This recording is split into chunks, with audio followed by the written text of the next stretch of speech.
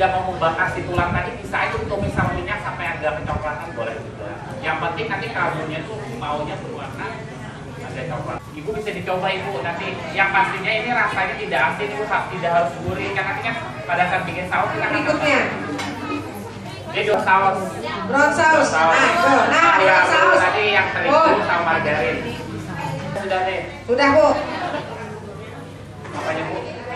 Bayiling itu eh, lembaran bu daun ini ada. Dalamnya ini bu.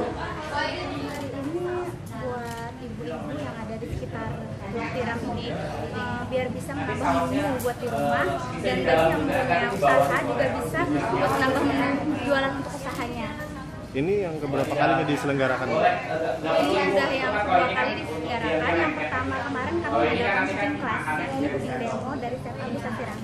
Apa aja menu-menu jenis masakan yang di Ya, yang didemokan hari ini adalah wadai ipau, eh, terus stick daging, sama nugget, nugget ayam. Karena biasanya kan anak-anak suka sekali sama nugget. Terus kenapa jadi wadai ipau? Karena itu kan khas, khas ciri khas Banjar, makanya itu yang saya pilih. Kenapa? Rasanya. Ibu bisa dicoba ibu nanti. Yang pastinya ini rasanya tidak asin ibu tidak harus gurih.